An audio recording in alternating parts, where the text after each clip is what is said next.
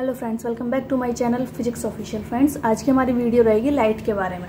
ठीक है, हम लाइट्स के जितने भी इंपॉर्टेंट टॉपिक्स या इंपॉर्टेंट पॉइंट्स हैं, वो मैं आपके साथ इस वीडियो में डिस्कस करूँगी। इस वीडियो को शुरू करने से पहले मैं आपसे एक बात शेयर करना चाहती हूँ, ये डिस्कस करना चाहती हूँ कि मैं इसी चैनल पर एक सीरीज़ लेके आने वाली हूँ, जिसमें मैं क्लास सिक्स से लेकर के एट्थ तक साइंस की एनसीईआरटी डिस्कस करूँगी। जो एनसीईआरटी की समरी है, वो पूरी मैं डिस्कस करूँगी। और जिस, उसकी जितनी भी वीडियो पार्ट्स में जो भी वीडियो बनेंगी, उसकी मैं एक प्लेलिस्ट बनाऊँगी, जो इसी चैनल पर मैं अपलोड करूँगी। अगर आप किसी कंपटीशन की तैयारी कर रहे हैं तो ये वीडियो आपके लिए, ये सीरीज़ आपके लिए बहुत यूजफुल होने वाली है। इसीलिए आप इसको बिल्कुल भी मिस मत कीजिएगा। मैं जल्दी से जल्दी वो वीडियो अपलोड करूँगी और इसी चैनल पर आप उसको जाकर देखिएगा। ज़्यादा देर ना करते हुए मैं इस वीडियो को शुरू करती हूँ कि हमारा टॉपिक है लाइट लाइट मतलब प्रकाश। प्रकाश जो है एक फ़िज़िकल क्वांटिटी है, ठीक है? एक भौतिक कारक है, ठीक है? और light is the form of energy that provide sensing of vision light जो है वो एक एनर्जी की फॉर्म में होती है, जो कि हमें सब कुछ भी देखने के लिए यूजफुल रहती है, जो हमें देखने के लिए सेंसेशन बनाती है, कुछ भी देखने के लिए। जैसे कि the twinkling of star stars का चमकना beautiful colours of rainbow rainbow के कलर्स और building of lights by the medium of and so on ये हमारी जो होती है वो लाइट होती है, ठीक है? अब इस लाइट का जो है एक लॉ ऑफ़ रिफ्लेक्शन होते हैं लाइट्स देखिए लाइट्स जो प्रोवाइड कराता है हमें लॉ ऑफ़ रिफ्लेक्शन जिसको हम हिंदी में कहते हैं परावर्तन का नियम, ठीक है? इसमें आप देखिए, ये एक प्लेन मिरर है, ठीक है? प्लेन मिरर है, ठीक है? इसमें ये जो इंसिडेंट रे है, ये एक रे आ रही है। ये जो पहली रे हमारी मिरर पर जो पड़ती है, उसको हम इंसिडेंट रे कहते हैं। एंड जस्ट उसी को जो अपोजिट रे पड़ती है मतलब उससे जो रिफ्लेक्ट होकर रे जो जाती है, उसको हम रिफ्लेक्टेड रे कहते हैं।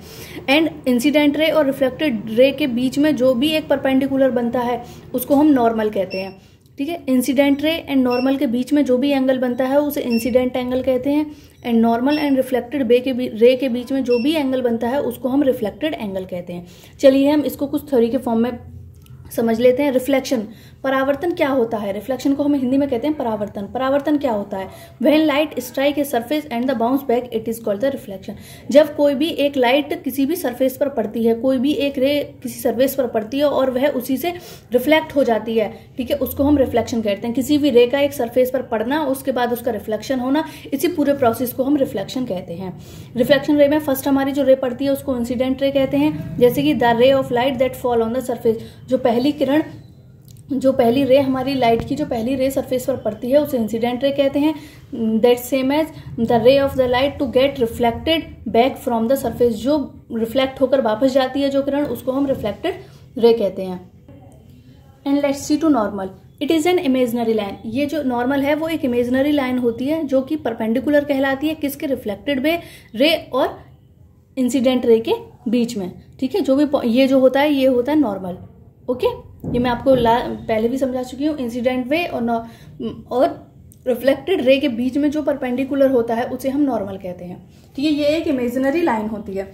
अब जो लॉ ऑफ़ रिफ्लेक्शन है, ठीक है, हमें टू टाइप्स प्रोवाइड कराता है। लॉ ऑफ़ रिफ्लेक्शन जो होते हैं, वो टू टाइप्स के होते हैं, ठीक है? उसके टू ही लॉ होते हैं। जैसे कि, देखिए, ये हमारी इनकमिंग लाइट इनकमिंग लाइट को हमने क्या बोला है? इंसिडेंट रे ठीक है? And reflected light reflected light को हमने बोला है रिफ्लेक्टेड रेज ठीक है? इसमें क्या होता है? जो इंसिडेंट लाइट जो इनकमिंग लाइट होती है इंसिडेंट रे होती है, और वो जो इंसिडेंट एंगल बनाती है, ठीक है? यहाँ थीटा वन से डिनोट करा गया है। इंसिडेंट एंगल रिफ्लेक्टेड एंगल के इक्वल होता है, ठीक है? इसका फ़र्स्ट लॉ हमारा यही कहता है। अब बात करते हैं type of reflection type of reflection जो है वो टू टाइप्स के होते हैं regular reflection and irregular reflection regular reflection क्या होता है? रेगुलर रिफ्लेक्शन जो होते हैं, जो भी प्लेन सरफेस होता है, उस पर जो इंसिडेंट रे है और रिफ्लेक्टेड रे वो इक्वल परपेंडिकुलर पर बनती हैं, ठीक है? ऐसा नहीं है, एक जिस एंगल पर इंसिडेंट रे है, उसी एंगल पर रिफ्लेक्टेड रे होगी, वो एक रेगुलर रिफ्लेक्शन कहलाएगा। जैसे regular reflection from a smooth surface like that of the mirror वो जो सरफेस होगा उसका, वो बहुत स्मूथ सरफेस होगा, जिससे जो है रेज जो है वो एक्यूरेट वे में ट्रांसमिट होंगी, ठीक है? एक्यूरेट वे में रिफ्लेक्टेड होंगी। सेकेंड होता है हमारा इरेगुलर रिफ्लेक्शन इरेगुलर रिफ्लेक्शन जो होता है, जो parallel rays reflected plane surface are not parallel जो रिफ्लेक्टेड रेज होंगी, वो पैरेलल उसका सरफेस पैरेलल नहीं होगा। देखिए, ये सरफेस पैरेलल नहीं होगा। जो रिफ्लेक्टेड रे आएँगे, देखिए, ये इंसिडेंट रे है तो रिफ्लेक्टेड रे किधर जा रही है? इंसिडेंट रे है रिफ्लेक्टेड रे किधर जा जो रिफ्लेक्शन है, उसका इरेगुलर वे में रिफ्लेक्शन होगा, ठीक है? और इसमें एक रेगुलर वे में रिफ्लेक्शन होता है। किसमें? रेगुलर रिफ्लेक्शन में रेगुलर वे में रिफ्लेक्शन होता है इरेगुलर रिफ्लेक्शन में इनरेगुलर वे में रिफ्लेक्शन होता है, ठीक है? ये हमारे टू टाइप्स के होते हैं regular reflection and irregular reflection अब हमने यहाँ प्लेन सरफेस प्लेन सरफेस की बात कर रहे हैं तो अब हम ये देखते हैं कि प्लेन सरफेस पर जो प्लेन इमेज है, वो किस तरह से फॉर्म्ड होती है। देखिए, ये कैरेक्टरिस्टिक हैं कुछ। प्लेन सरफेस पर क्या होती है? जो इमेज है, वो वर्चुअल एंड इरेक्ट मतलब वर्चुअल मतलब मतलब रियल बनती है और सीधी बनती है।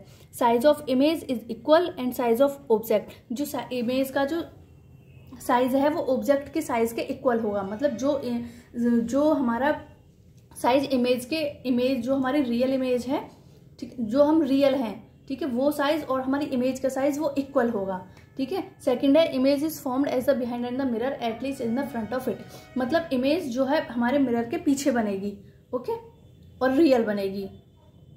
फोर्थ है हमारा लिटरली इन्वर्टेड इन्वर्टेड मतलब अपोजिट बनेगी. जैसे कि अगर हम मिरर में देखते हैं, हम राइट हैंड अपना अप करते हैं तो मिरर में हमें दिखेगा कि हमारा लेफ़्ट हैंड अप हो रहा है.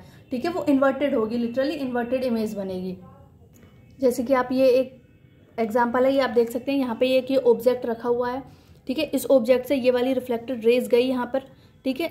ये इंसिडेंट रे है, ये रिफ्लेक्ट हो गई यहाँ से तो रिफ्लेक्ट होकर यहाँ पर, यहाँ पहुँची, ठीक है? ये जो है हमारी इमेज बनी, ये ए बी है, ये ए डैस बी डैस हमारी इमेज बनी है, ठीक है? प्लेन मिरर के जस्ट अपोजिट हमारी इमेज बनी है, ओके? ये हमारी इमेज फॉर्म हुई है प्लेन मिरर से। ये देखिए, ये कुछ इसके एग्जाम्पल्स हैं। ये देखिए पेरिस्कोप जो है, ये यहाँ पे ऑब्जेक्ट रखा हुआ है, यहाँ से रेज गई, ये रिफ्लेक्ट हुई यहाँ से, ठीक है? रिफ्लेक्ट होकर इस मिरर पर आई, फिर यहाँ से रिफ्लेक्ट हुई और यहाँ से हम उसको देख पा रहे हैं, ठीक है? अगर ये ऑब्जेक्ट है, ये आई से हमने यहाँ से इसको देखी है, ये हमारी रेज गई रिफ्लेक्ट हुई, फिर यहाँ पहुँची, फिर यहाँ, ये जस्ट अपोजिट होती है मतलब रिफ्लेक्ट होती है। ये एक पेरिस्कोप इसका एक प्लेन मिरर का जस्ट एन एग्ज़ाम्पल है। ठीक है, आगे की वीडियोस में मैं आपसे मिरर और concave mirror and convex mirror discuss करूँगी, उसकी एक पर्टिकुलर वीडियो लेके आऊँगी, जिसके बारे में मैं पूरा उसका कॉन्सेप्ट कॉन्केव मिरर और कॉन्वेक्स मिरर के बारे में आपको बताऊँगी। थैंक यू अगर मेरी वीडियो अच्छी लगी हो तो प्लीज़ लाइक करो शेयर करो, ज़्यादा से ज़्यादा सब्सक्राइब करो। Thank you for watching